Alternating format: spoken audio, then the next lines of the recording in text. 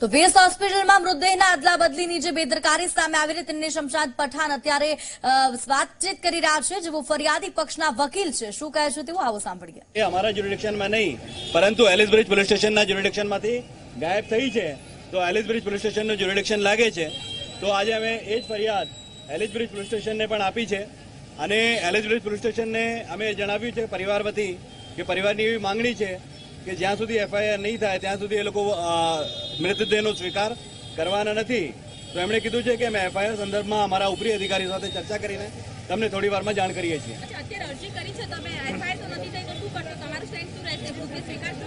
આ પરિવારનું સ્ટેન્ડ એ છે કે એ મૃતદેહ સ્વીકારવા નથી માંગતો જ્યાં સુધી એફઆઈઆર ના થાય. તેમ છતાં પરિવારનું જે પણ આ સ્ટેન્ડ હશે એ સ્ટેન્ડ ઉપર અમે એમની સાથે છીએ. અને અત્યારે કેમ કે જ્યુડિક્શનનો જે સવાલ છે, એ ખૂબ જ હાસ્યાસ્પદ હાસ્યાસ્પદ છે કે પોલીસ, જે બંને પોલીસ અધિકારી એલિસબ્રિજ પોલીસ સ્ટેશનના પીઆઈ પણ ત્યાં મોજૂદ હતા અને દાણીમડા પોલીસ સ્ટેશનના પીઆઈ ત્યાં હાજર હતા. તેમ છતાં, બંને જ્યુરિડિક્શનના સામાન્ય મુદ્દા ઉપર એફઆઈઆર ને જોલે જે ચકડોળે ચડાવી છે, એ ખૂબ જ નિંદનીય છે અને એના કારણે પરિવારની જે ભરોસો છે એ ધીમે ધીમે પોલીસ ઉપરથી પણ ઉઠી રહ્યો છે. એક મુદ્દા જે છે કયા મુદ્દાઓ જે છે કયા કયા મુદ્દાઓ આપે ફરિયાદમાં ટાંક્યા છે? અમે જે ફરિયાદ છે એ આરએમઓ સહિત જે પણ જવાબદાર અધિકારીઓ છે એ તમામની વિરુદ્ધ અમારી ફરિયાદ છે. ફરિયાદમાં જે મુદ્દાઓ છે એ મુદ્દામાં સૌથી પહેલો મુદ્દો જે હતો કે જે દાણીમડા જે કોર્પોરેશનના દવાખાનામાં એમની બેદરકારીને લીધે મૃત્યુ થયું છે એ લોકોની સામે કાર્યવાહી થાય. પછી એના પછી જ્યાં વીએસ હોસ્પિટલમાં પીએમ પછી કોલ્ડ સ્ટોરેજ રૂમમાંથી જે લોકો જાણી જોઈને મૃતદેહને બીજા, બીજી વ્યક્તિને બીજા લોકોને આપી અને એના પછી જે ધાર્મિક ક્રિયાઓ એના ઉપર થઈ, જેના કારણે સમગ્ર મુસ્લિમ સમાજની ધાર્મિક લાગણી દુભાઈ છે, તો તે બદલ પણ એ લોકોને વિરુદ્ધ ગુનો દાખલ કરવામાં આવે. અને અત્યારે પીએમ થયું છે અને વિડીયોગ્રાફી પેનલ થઈ છે. જે લોકો હાજર હતા, એમની સાથે એક વખત જાણી લઈશું કે જે ફિટસ ફિટસની વાત હતી, એ ફિટસ મોજૂદ છે કે કેમ? એની પણ એક ડિમાન્ડ કરવામાં આવી જો ફિટનેસ મોજૂદ ના હોય તો એ ફિટનેસ કોણે કર્યું અને કોના ઇશારે કાઢવામાં આવ્યું છે તેની પણ તપાસ થવી જોઈએ તેવી માંગણી કરવામાં આવી છે. હા એ સવાલ મારા કરતા તમે એસીપી સાહેબ અને પીઆઈ સાહેબને પૂછો તો વધારે સારું રહેશે. કેમ કે એ નથી સમજાતું કે જ્યારે સામે દેખાય છે કે બોડી જાણી જોઈને ગાયબ કરવામાં આવી છે અને આ કોગ્નેઝેબલ ઓફેન્સ ડિસ્ક્લોઝ થાય છે સુપ્રીમ કોર્ટના જજમેન્ટ છે કે જ્યારે કોગ્નેઝેબલ ઓફેન્સ ડિસ્ક્લોઝ થતું હોય તો તાત્કાલિક એફઆઈઆર દર્જ કરવી જોઈએ. ત્યારે પોલીસ એફઆઈઆર દર્જ કરવા કેમ ના પાડે છે અને કોને બચાવવા માંગે છે પોલીસે? પોલીસે જવાબ આપવો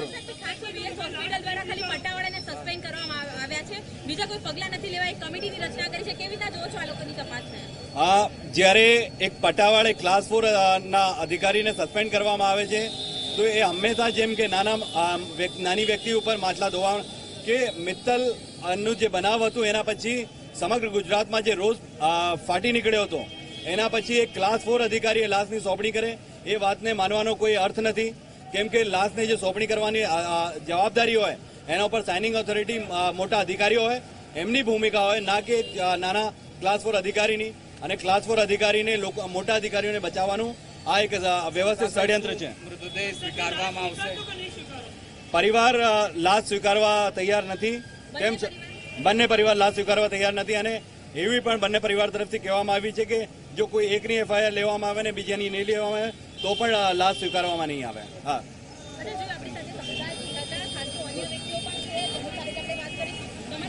ભાઈ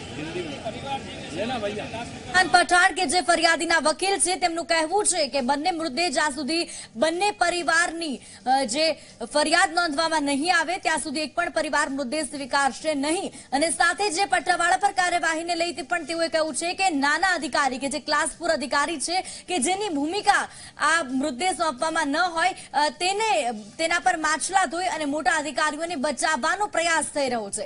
બંને મૃતદેહનું પેનલ ડોક્ટર ફરી પોસ્ટમોર્ટમ કરે તેના વીડિયો વિડીયોગ્રાફી કરવાની પણ તેમણે માંગણી કરી છે અને સાથે પરિવારના સભ્યને ત્યાં હાજર રાખવાની પણ માંગણી કરી છે. નસરીના પરિવાર બાદ મિત્તલના પરિવારે પણ આક્ષેપ કર્યા છે અને બંને પરિવાર હવે સાથે ફરિયાદ નોંધાવવા માટે પોલીસ સ્ટેશન પહોંચ્યા છે અને તેમનું કહેવું છે કે એલિસબ્રિજ પોલીસ સ્ટેશન પર તેમની ફરિયાદ હજુ સુધી નોંધવામાં નથી આવી. જ્યાં સુધી બંને પરિવારની એફઆઈઆર નોંધવામાં નહીં આવે, ત્યાં સુધી બંને પરિવાર મૃતદેહનો સ્વીકાર નહીં કરે. કારણ કે બંને અલગ અલગ ધર્મના વ્યક્તિ હતા કે જેમનો મૃતદેહ હતો અને નસરીનનો મૃતદેહ જ્યારે મિત્તલના પરિવારને સોંપ્યો ત્યારે તેમના પર અન્ય ધર્મની ધાર્મિક વિધિઓ પણ થઈ ચૂકી, તેમની અંતિમ વિધિ પણ થઈ ચૂકી, જેથી સમગ્ર મુસ્લિમ સમાજની ધાર્મિક લાગણી દુભાઈ હોવાનો પણ તેમણે આરોપ કર્યો છે.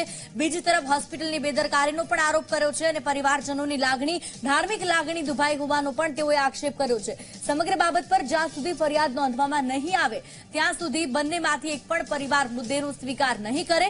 બેમાંથી એક પરિવારની ફરિયાદ જો નોંધવામાં આવશે, છતાં પણ મૃતદેહનો સ્વીકાર નહીં કરવામાં આવે. બંને પરિવારની માંગણી છે કે ફરિયાદ નોંધવામાં આવે ને જવાબદાર અધિકારી સામે પગલાં લેવામાં આવે. કારણ કે મિત્તલ જાદવ જે હતા તેમની હત્યા થઈ હતી અને તે કેસ પણ ખૂબ જ ચર્ચાયો હતો સમગ્ર ગુજરાતમાં.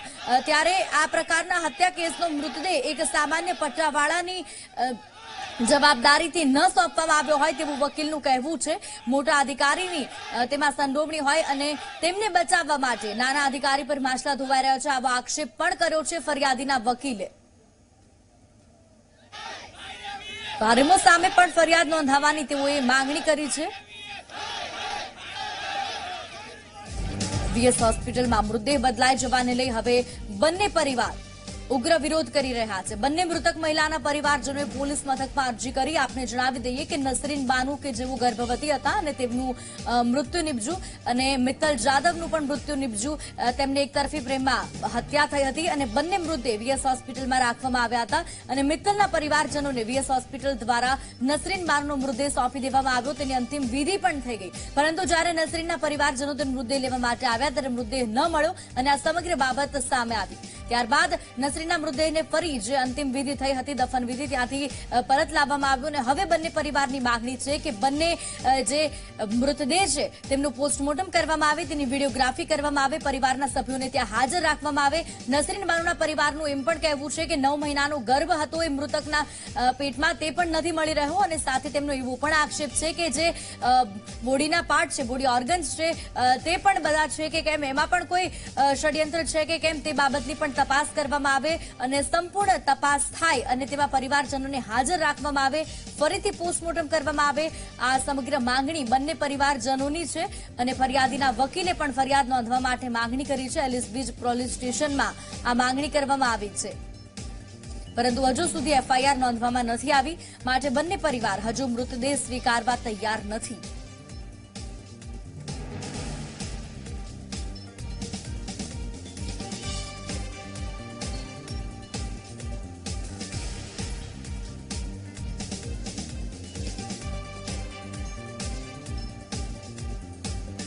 સંવાદદાતા અમિત રાજપૂત અમારી સાથે જોડાશે અમિત, બંને પરિવારના હવે ફરિયાદીના વકીલ છે. તેઓ ફરિયાદ માટે પહોંચ્યા છે.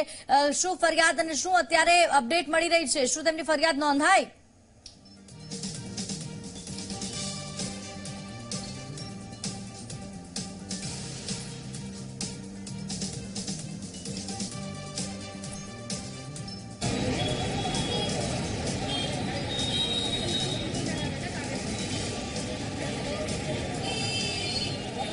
બિલકુલથી સિદ્ધિ જે પ્રકારથી આ મામલો છે અને ગંભીર મામલો છે ને તેને લઈને જે પ્રકારથી બંને પક્ષો જે છે એ પોતાની રજૂઆત જે છે એ પોલીસ સમક્ષ કરી રહ્યા છે. પહેલા તેમના તરફથી દાણી લીમડા પોલીસ મથકમાં રજૂ દાણી મથકના જે પોલીસ મથકના પીઆઈ છે, ચાવડા તેમને રજૂઆત કરવામાં આવી. ગઈકાલે તેમના તરફથી હૈયા ધારણા આપવામાં આવી હતી.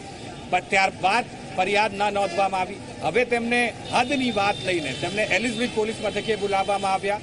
ડીસીપી સાથે, એસીપી સાથે તેમની બેઠકો કરવામાં આવી. તે છતાંય કોઈ સ્ટેન્ડ જે છે અત્યાર સુધી ક્લિયર નથી થયું. અરજી સ્વીકારવામાં આવી છે. સમસાદ પઠાણ જે ફરિયાદી પક્ષ તરફથી વકીલ છે અમારી સાથે જે તેમની સાથે વાત કરીશું. સમસાદભાઈ ગઈકાલથી લઈને અત્યાર સુધીની જે પ્રકારથી ઘટનાક્રમ છે, આજે શું થયું? આજે શું કહેવામાં આવ્યું? બે કલાકથી વધુ સમય સુધી બેઠક ચાલી છે. બપોરે એન્ક્વેસ્ટ પંચનામામાં જ્યારે એન્ક્વેસ્ટ પંચોએ એવું કહીને મના કરી ના પાડી દીધી કે જ્યાં સુધી આમાં એફઆઈઆર ના થાય, ત્યાં તમે ઇન્કવેસ્ટ પંચનામું ભરાવવા નથી માંગતા. ત્યારે પોલીસે એમના મળતિયા પંચોને ઊભા કરી, ખોટું ઇન્કવેસ્ટ પંચનામું ભરી પીએમ કર્યું છે. એના પછી એમણે જ્યુરિડિક્શનનો નાનો મુદ્દો ઉપાડીને પોતાની માનસિકતાનો પરિચય કે કઈ રીતે એ પીડિત પક્ષોને હેરાન કરવા તરફ જઈ રહ્યા છે. અને એમણે જ્યુરિડિક્શનનો મુદ્દો ઉપાડીને કીધું છે કે બોડી ગાયબ થવાનો જે મુદ્દો છે, એ એલિસ પોલીસ સ્ટેશનનો છે, અમારો નથી. એટલે અમે કીધું કે અમે એલિસ બ્રિજ પોલીસ સ્ટેશનને પણ આપી દેવા દેવા તૈયાર છીએ. પરંતુ તમે અમારી એફઆઈઆર દર્જ કરો. અને આજે એલિસ બ્રિજ પોલીસ સ્ટેશનને પણ અમે આ ફરિયાદ જે કાલે ચાવડા સાહેબને આપી હતી, એ જ ફરિયાદ અમે એલિસ બ્રિજ પોલીસ સ્ટેશનના પીઆઈને પણ આપી છે. અને માંગ કરી છે કે આમાં એફઆઈઆર તાત્કાલિક દર્જ કરવામાં આવે. સત્તાભાઈ જે પીએમ કરવામાં આવ્યું છે, તો શું નસરીનનું જે પીએમ થયું છે અને શું જે મહત્વનો મુદ્દો છે, ગર્ભ છે, એ બરાબર છે? કેમ કે એના ઉપર સૌની નજર છે. શું એનો કોઈ રિપોર્ટ કે કોઈ માહિતી આપવામાં? હજુ સુધી મેડિકલ કે પોલીસ તરફથી એવું કોઈ ફોડ પાડવામાં નથી આવ્યો કે ગર્ભ ઇન્ટેક્ટ છે કે કેમ? અને જો કોઈ પરિવાર કેમ કે અમારી માંગણી હતી કાલે કે પરિવારના લોકોને હાજર રાખો. અને પરિવારના લોકોને હાજર રાખ્યા હતા કેમ કે અમે ત્રણ કલાકથી અહીંયા પોલીસ સ્ટેશન છીએ. તો એમની સાથે ચર્ચા કરીને ખબર પડશે કે ગર્ભ ઇન્ટેક્ટ છે કે કેમ. હવે સ્ટેન્ડ શું રહેશે શું મૃતદેહ છે બંને પરિવારો તરફથી સ્વીકારવામાં આવશે કે અહીંયા જ આપ રહેશો? અહીંયા પીડિત પરિવારના જે ભાઈ છે જે ફરિયાદી છે અહીંયા હાજર છે.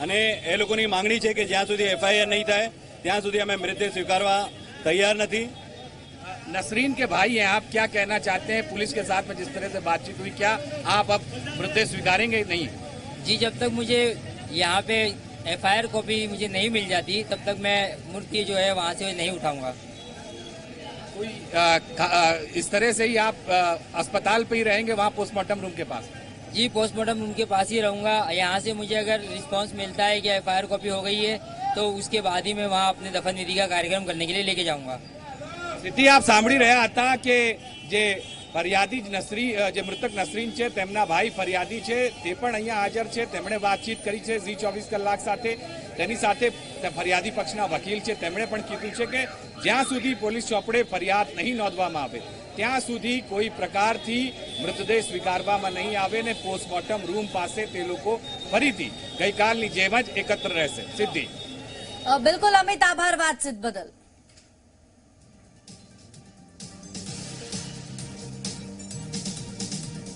હોસ્પિટલના આરએમઓ સામે ફરિયાદ નોંધાવવા માટે પણ માંગણી કરવામાં આવી છે અને નસરીનના પરિવારજનોનું પણ કહેવું છે કે પોલીસ કોને બચાવવા માંગે છે તે વાત કહે અને વીએસ હોસ્પિટલમાં મૃતદેહ બદલાઈ જવાને લઈ નસરીનના ભાઈનું પણ કહેવું છે કે જ્યાં સુધી એફઆઈઆર નહીં નોંધાવવામાં આવે, ત્યાં સુધી તેઓ સ્વીકાર નહીં કરે મૃતદેહનો.